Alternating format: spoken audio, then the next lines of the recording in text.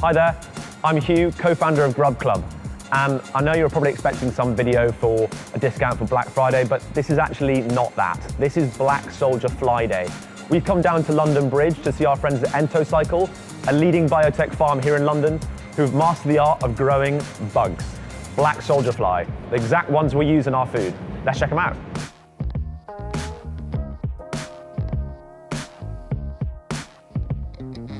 Hi, my name is Keiran Olivares Whitaker and I'm the CEO and founder of Entocycle. We're the UK's leading insect technology company.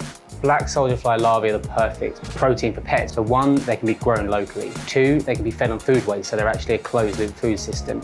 And three, they are the perfect protein bar. So they have all the key amino acids that everything needs, you know, not just pets, animals, and also humans. So that's why it's a fantastic protein. From the protein producers, they grow from about two and a half millimeters into two and a half centimeters in 10 days. And then the life cycle of the actual next generation is you have the eggs that will hatch into the small larvae. Those small larvae then will grow into pre-pupa, so they change color. They literally tell you when they're getting ready.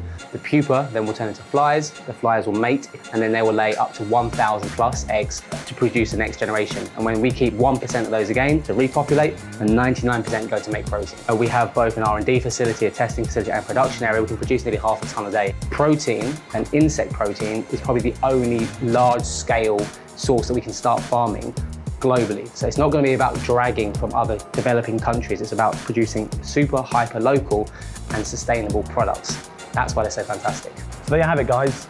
The proof's really in the pudding. Insects are the future. They're great for the planet, they're great for our pets, and they're probably going to be great for us in the future too. So it's winner winner, bugs for dinner.